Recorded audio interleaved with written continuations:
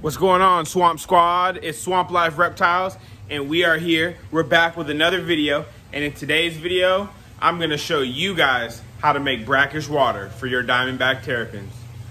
Grab those headphones, and I hope you're ready to listen, guys. See you in a minute.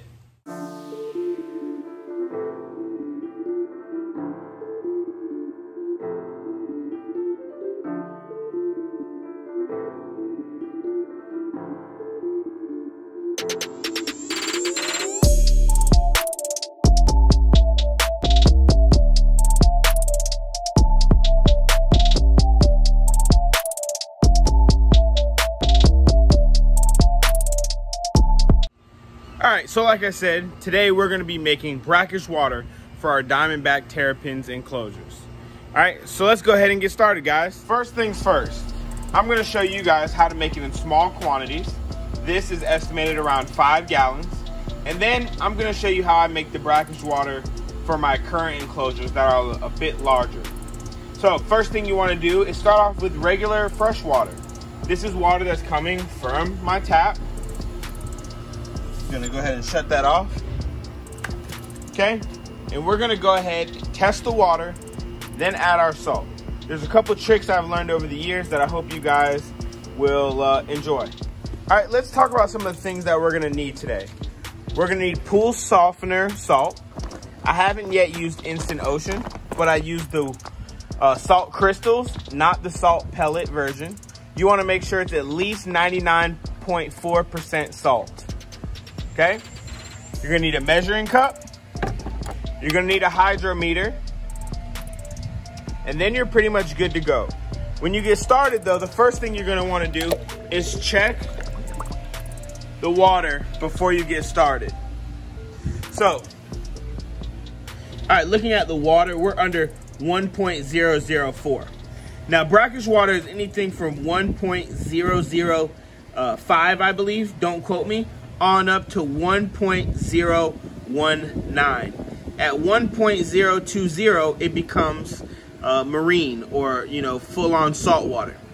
I like to keep mine around 1.010 or 1.012. So I just say 10 or 12. All right, so let's go ahead and get started. So the most popular question I get is, well, how much salt do I add to it? Well, here's the thing you want to add about a cup and a half per five gallons of salt to get started. That'll get us around 1.008 salinity, and that's for every five gallons. So one and a half cups to every five gallons. So the bucket that I have down here is about a five gallon bucket, and we're gonna make a small portion just to show you how to do it in case you add bucket by bucket. Now, some of my enclosures are already put together, and I honestly, I just add the salt to it already uh, and it dissolves pretty quick. One thing I noticed about this brand of salt, the chunks are a lot bigger than the normal salt I use, okay? Um, I normally get my salt from Tractor Supply, but they were out, so I had to get this from Home Depot. Same stuff, might take a little bit longer to dissolve, but here's my cup. I'm just gonna pour it in. All right, and then I'm gonna get another half cup. Right. We'll call this a half cup, might be a little more. It's all right. Now, it could be as simple as this, but I found that the water dissolves much better, or the salt dissolves much better rather, when the water is moving. moving. So I like to put a little filter in there just to get the water moving, uh, and it helps to circulate and dissolve the water. So I'm gonna grab a little filter, a little pump rather, drop it in there to help it circulate, and uh, then we'll see what it looks like in a couple minutes. All right, so I got this Whisper filter running, uh, well pump really, there's no filter media in it, and I just have it so that the water is circulating to help the salt dissolve quicker. Um, I've never used uh, these really large uh, salt crystals, so we'll see how long it takes. Uh, but while we're waiting, uh, why don't we go ahead and see what I did this weekend? So a lot of people laugh when I say that I set up um, my turtles differently for winter because I'm in Florida, okay? I am in North Florida. It does get colder here, okay? We don't have snow or anything. Um, but for my ornate Diamondback Terrapins, I prefer to keep them uh, warm, okay? And so it's starting to get cooler. And so I needed to take this time to go ahead and move them inside before I get super busy. So let's go ahead and take a look at the enclosures that I've set up inside of my garage for my ornate diamondback terrapin. All right, so this is the tub that was outside, um, except I have now put all of my sub-adult and all adult ornate diamondbacks uh, in here. So currently there is a 2.2 group. I have bumpers, uh, there's Casper, down there is Ruby, and then Yoda is somewhere swimming around in here as well. I have them set up in a simple stock tank with a canister filter, uh, with a mercury vapor bulb and a basking area. It's not perfect, guys.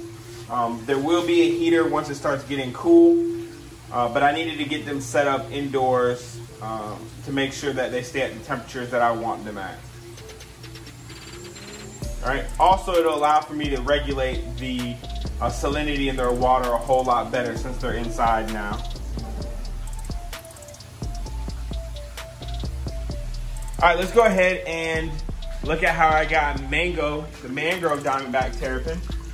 Uh, I got, I moved her medium waterland tub inside. She has her nesting area over here. You can see her.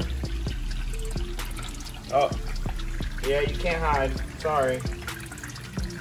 Yep, that's Mango, the mangrove diamondback terrapin, and then that is uh, Bowser, my oldest ornate diamondback terrapin. Um, since I don't have a male mangrove to pair with her, uh, I am pairing her with my oldest ornate diamondback terrapin. And uh, they'll spend the winter in here. I already have the heater in there. Uh, mangroves require it to be warm year round. And so I wanted to make sure that she had everything she needed. We got a driftwood. eventually, a lot more sand will be on the bottom in case she wants to bury in the mud. Uh, another canister filter set up. And it also allowed me to do more regular water changes being in my garage. So, yeah.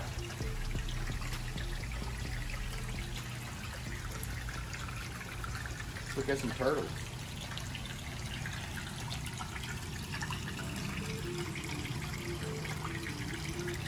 What's up, buddy?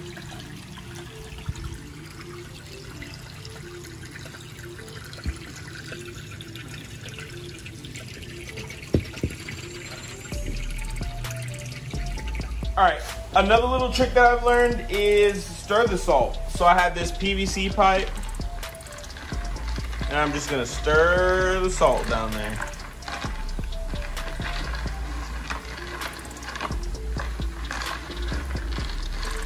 All right, you don't want to test the water until all the salt is dissolved.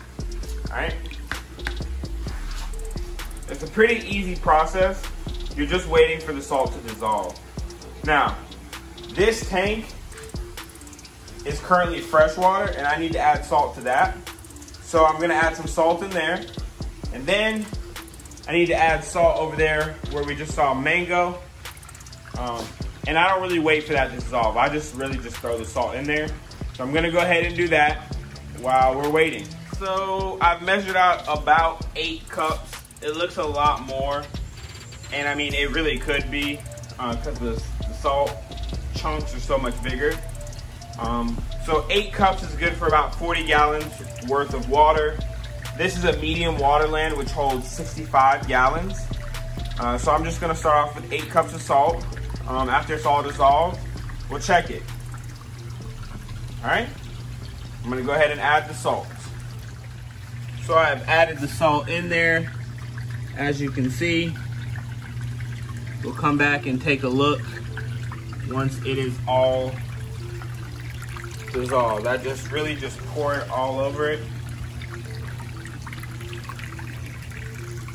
Once I have theirs at the salinity that I want, then I'll feed them.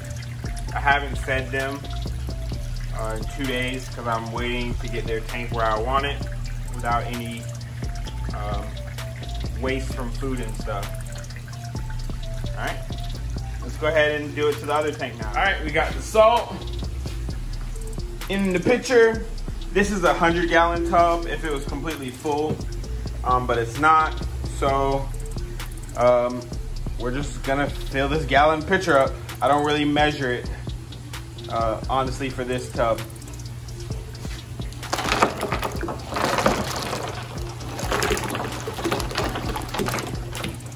Some over here.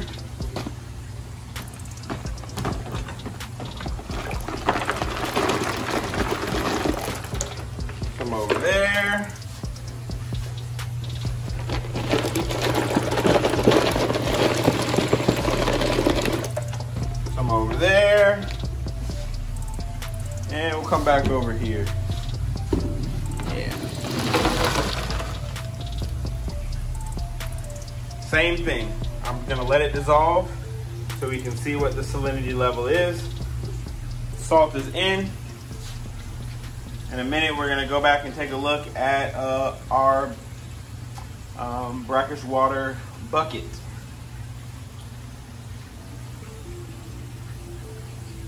Look at bumpers. So we're back, checking on the bucket. As you can see, it has dissolved, not completely yet, so I can't check it. It probably would work better if I would have um, crushed those huge things, uh, crystals rather. Um, but we're still over here, still got the pump going, still mixing it, and still trying to get brackish water for our terrapins. I'll see you guys in a few when this is done. Guys, water displacement is a mug. I forgot that I had a hole in this stock tank with this Uniseal. Because uh, you know this is an outside tub typically. So I needed something where the water drains. And so when I added the salt, water came pouring out. So now I'm over here uh, trying to clean some of it up.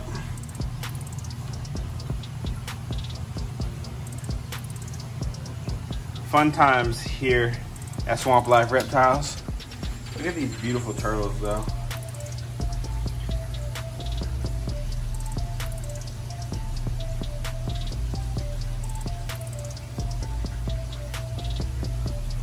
Look, there's Yoda.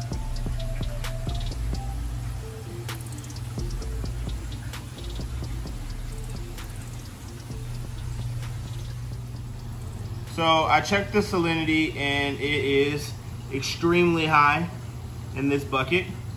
Um, probably because of those big old chunks of salt. So let's go ahead and check the actual in the tank salinity so far.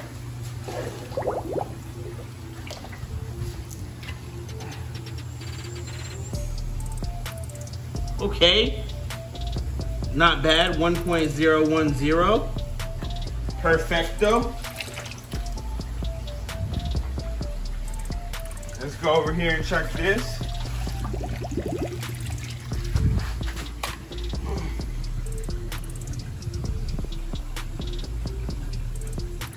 All right, 1.014, which is fine. Still um, brackish, but they are fine. See, swimming around great. Gotta admit, pretty content. I probably won't buy the super chunk salt anymore. But uh, overall, I'm content. All right, guys, so one thing I definitely learned in this video was do not get the huge size uh, chunk salt. Uh, it definitely raises the salinity even higher, obviously more salt. Um, I'll put the links to the salt that I prefer to use uh, down in the video. Uh, I hope this video was informative. Uh, let me tell you this, if your salinity was lower than what you would like, none of mine were, thankfully, um, then all you have to do is add salt. And once you get that base amount, you just wanna add little bits of salt, little bits of salt, all right, to raise it. I typically uh, add about a cup at a time. The great thing with Diamondback Terrapins is they can handle pretty high salinity. Um, my mangroves my mangrove uh, specifically prefers it a lot saltier. So her water being saltier is not a problem. Uh, overall, uh, I hope you guys saw how easy it is to make salt. Uh, well, brackish water, I'm sorry, not salt water. How easy it is to make brackish water. And I hope you guys consider changing all of your Diamondback Terrapins to brackish water. All right, guys, until next time, Make sure you comment, like, and subscribe. Swamp Squad, I'll see you later. This has been Swamp Life Reptiles making brackish water. Peace out.